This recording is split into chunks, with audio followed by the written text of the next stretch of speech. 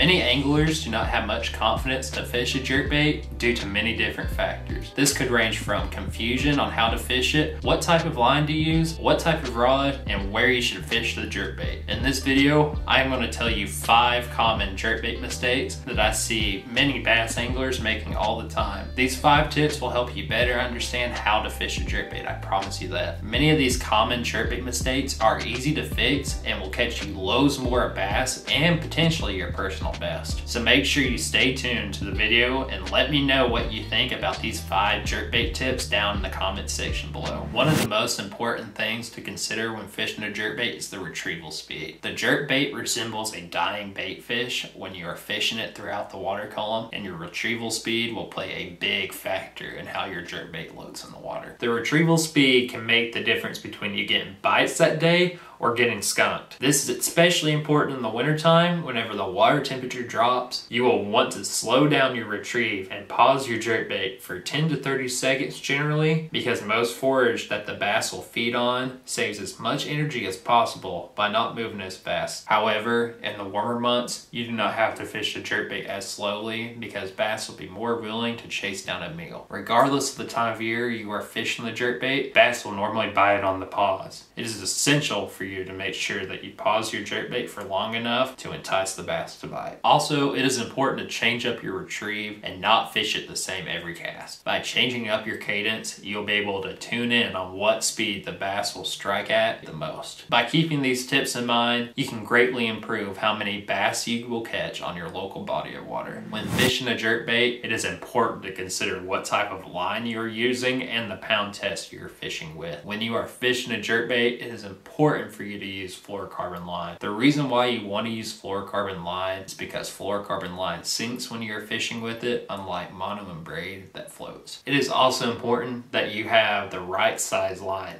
fishing the jerkbait. Generally, you will want to use as light of line as you can get away with, while also not using too light of line that the fish will break off. Personally, I like to use anywhere between 8 pound test and 12 pound test fluorocarbon line when fishing a jerkbait. The sweet spot being 10 pound test fluorocarbon line. This is because the thicker diameter your line is, the less it will sink. So an 8 pound test will sink deeper compared to 12 pound test, which will not sink as deep. It is very situational based depending on what conditions you are fishing in, but it is a good rule of thumb to follow and to stick to. Many anglers think that you have to use a specific setup when fishing the jerkbait. There are a few general guidelines that I like to go by when choosing a jerkbait rod. The first thing I would consider would be rod length. Rod length is important when picking out a jerkbait rod, but I like to use a 7 foot rod so I can cast further and still work the lure well. When it comes down to the action of the rod, I like to use a medium fast personally, but some people like a little bit more bend to the rod and use a medium moderate fast action. This is very dependent on how you want your rod to feel when you are using a jerkbait. However, it is important to have some bend to your rod when fishing the jerkbait due to the fact of using treble hooks. Having more bend to your rod will help keep the fish pinned better and will greatly improve how many fish you catch. Another thing to consider when choosing the right rod is if you are using a bait caster or spinning rod. In most scenarios, I like to use a bait caster,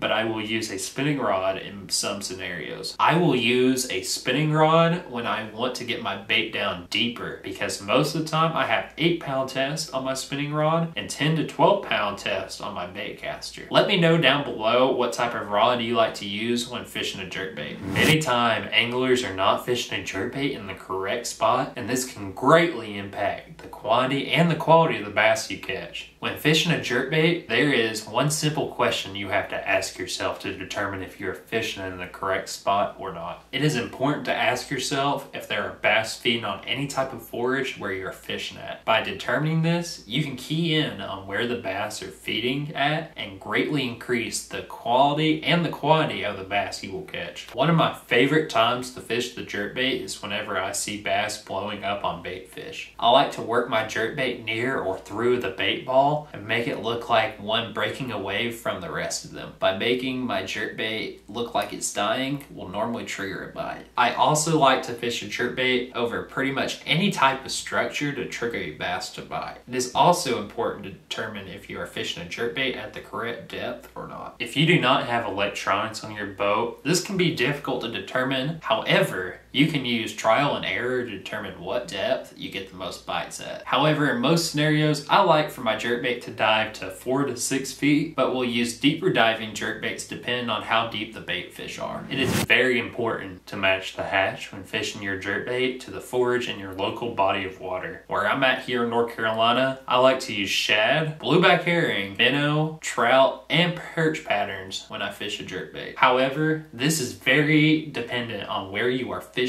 in the country, and the bass will not feed on the same forage every single day. Some days they will feed on minnows, and other days they could be feeding up on shad or perch. It just really depends. When going out on your local body of water, it is important to observe the different bait fish you see throughout the day, and this will help you determine what type of pattern to imitate for that day. Also, if you catch a fish and it spits out some shad, it's probably a safe bet to throw a shad pattern to trick the bass into biting. Whenever I go out on the water, I like to try to pick up on these tiny details to help me determine what patterns to throw. Let me know down below what your favorite pattern to throw is in your local body of water. These are the top five mistakes people make when using the jerkbait. Following these tips will greatly increase the quantity and the quality of the bass you catch. Let me know if this video helped you in the comments section down below. I love to see it whenever I'm looking through my comments. If you enjoyed this video, make sure you hit that like button to help the video in the YouTube algorithm